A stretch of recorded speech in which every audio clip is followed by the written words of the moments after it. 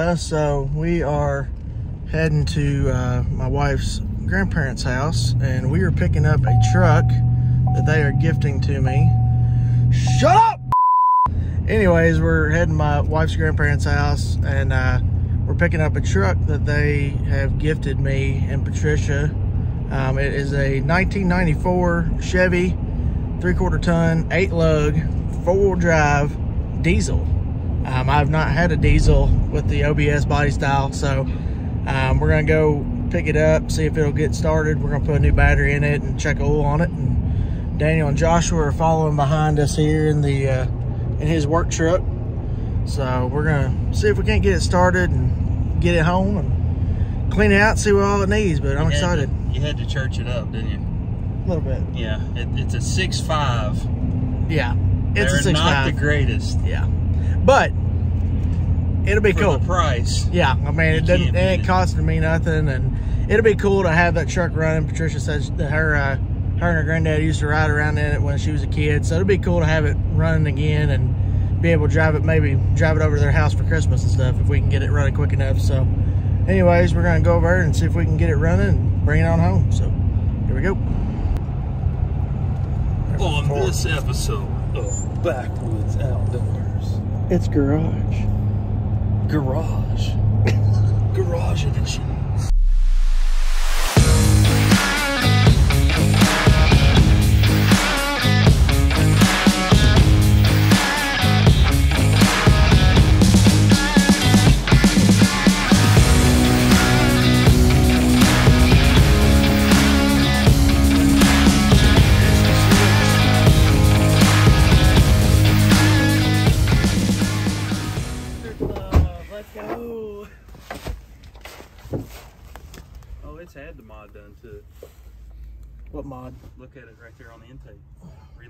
Reload Turbo diesel. Yep. All right. Well, Two batteries, hmm. and they are not that old. 2019 on that one. I don't know what that one's at. Did you put the key in it? Nothing. I didn't try it. There's two starters in the bed. If that's a good sign. No. No, no juice. Lights? No juice. No juice at all. Question, does it have go juice? Lights? You got, no. You got any go juice? Well, there's no. Oh, I mean, it says it's full. Do a little walk around here, putting a Optima battery in it. The squirrels have sought refuge inside the engine to make their snack, to make that their snack time place. Snack time place.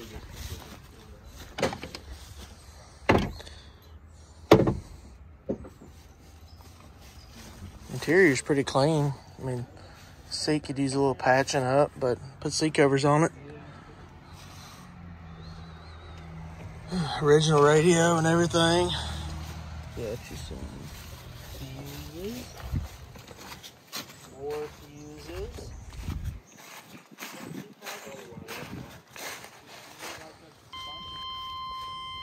She's beeping. She's got battery. She's got battery. There's a glimmer of hope. A lot of zip ties. That's just cause. just to get it to What's contact. when you hit a bump? This is like We'll road. This is like an episode of Roadkill right now. Got a hose for it. No. All This right. should get interesting. Start uh start cranking it. Right? Yep. Go, keep going.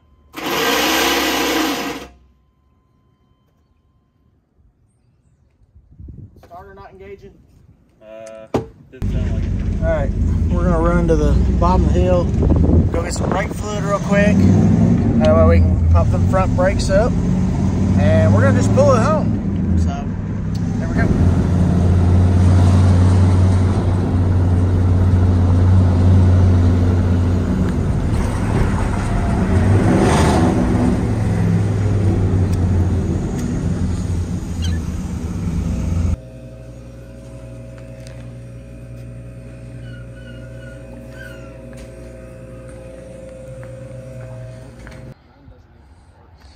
All right, well, let's pull this sucker home, I guess. This is gonna get interesting.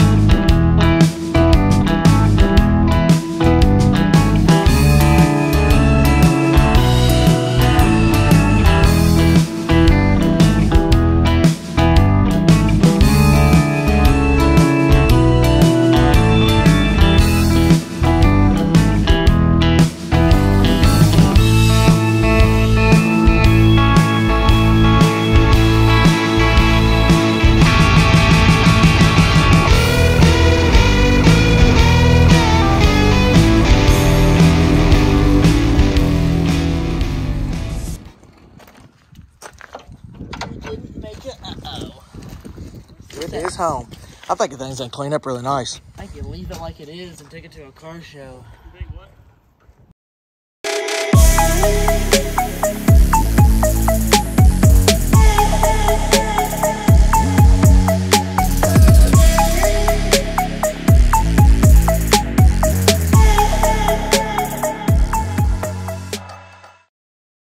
All right, guys. Getting ready to get this truck pulled in here. Truck is in the shop. 6.5 diesel. Gotta get these batteries charged up. I just don't think they got enough juice in them. We put this Optima battery in it at the house, and it wanted to fire up, but I don't think with you know with not having both batteries charged up, it just didn't have enough power to engage the starter. So I kind of I wasn't sure if it would have two batteries being diesel, but especially being a 94, but it does. So we'll have to get that one charged up, and we're gonna change this one out and put the the Duralast back in it because they're 2019 batteries. So see if those will actually hold charge. If not, then we'll go get a core charge at AutoZone and get them changed out. So, I'm getting ready to. Um, there's the inside of it. Cool. It's gonna be really nice cleaned up, I think. Headliner's really good in it still. It's been taken care of. All right, got the shop back over here. I'm gonna try to clean the inside of this thing out while we're waiting for Dad to get here. See if I can get it all looking good.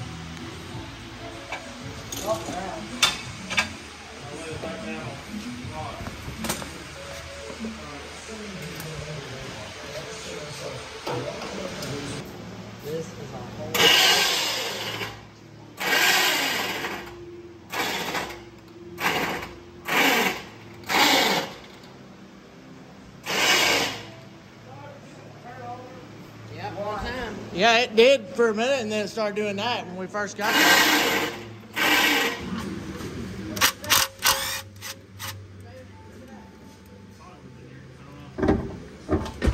Where's that brake fluid at, Dylan? I uh, put it in the cabinet over there. Should be like the third shelf, right in the front. Brake fluid for what? I bought brake fluid earlier for this. I bought brake fluid for this thing earlier. I don't know what they need it for though. But.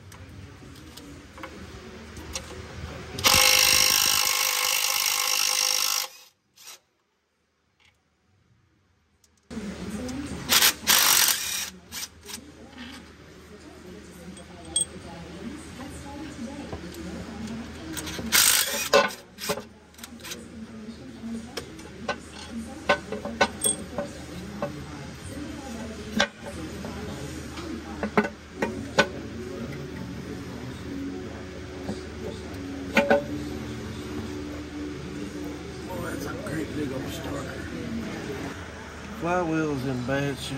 Really? That's great.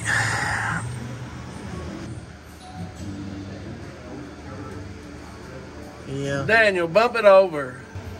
Yeah. Do it again. All right, stop.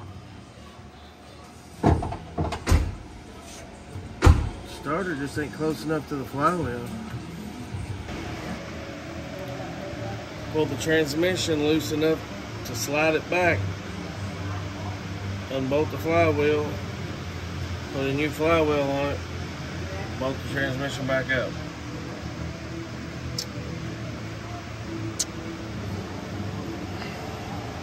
If I could spin it around and get to a spot where it would turn, it's- going to come right back to this bad spot and then start slipping again.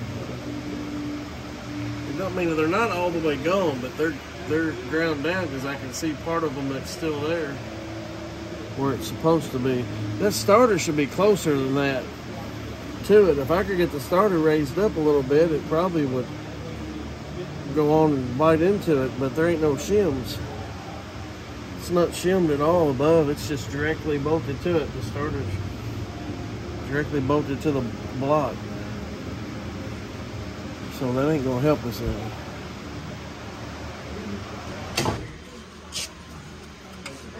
Yeah. Why- Why'd you stop? What? Why'd you stop? It started turning. It.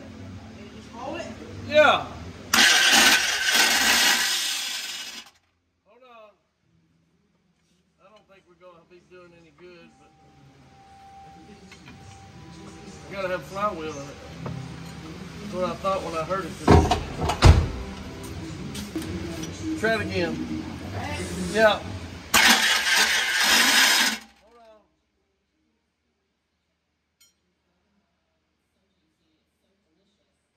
Just get out of it. It ain't gonna work. Better turn the key off. Transmission's got to be unbolted. Put a flywheel in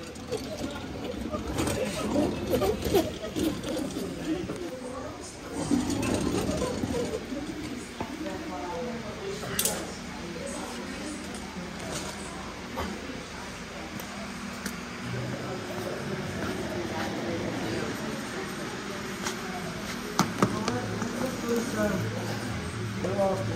Can't pull me up. What are you talking about? I can't pull you up. Can't pull you up. Crap. Not the right start for it. Flywheel was jump. I just thought maybe I could get it to a new spot too. Starter's not Look like it. Does it look like the weight room at Bullock County Dentist office? No, Missing teeth. ground down. I thought that was worse than kind of get Well, one. that's Put that on it first and see if this is gonna start. And it may have hurt the starter, so you probably might as well put a starter on it too. Need to look, drag him to the back and see what the see what the teeth look like on this.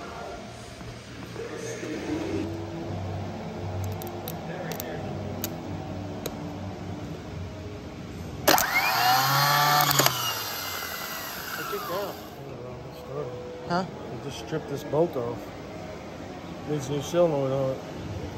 They keep putting starters on it thinking it was the starters. And it's a freaking flywheel. See what's the matter with this one. This is probably the original one. Which one is? You think? This one here? The one that, because that one looks newer. I wonder if that's the original. It kicked out. Ain't doing it. Oh, it's turning. It's kicking out and turning.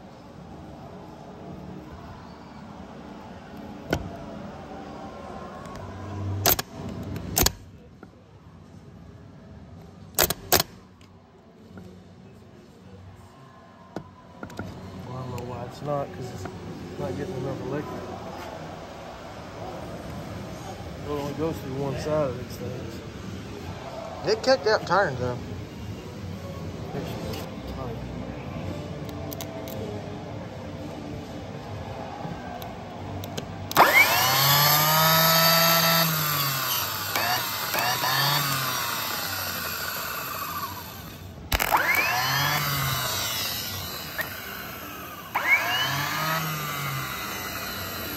It ain't kicking out now.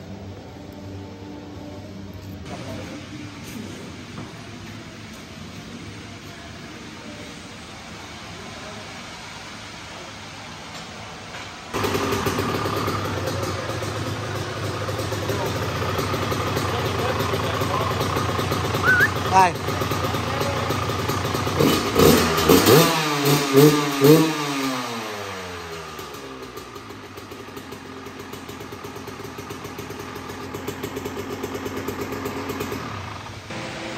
All right, well, we got it home. It's in the shop, and uh, we crawled under it, pulled the uh, cover off of it, and the flywheel is pretty much destroyed. So, Dad's thinking we can take the rear drive shaft off, take the cross member off, and slide everything back. Take the flywheel off, put a new one on it. We're probably gonna have to put a new starter on it too, but yeah, two new batteries, um, and then we're gonna see if it'll start. So, but at least now we know kind of what the problem was because there was two starters.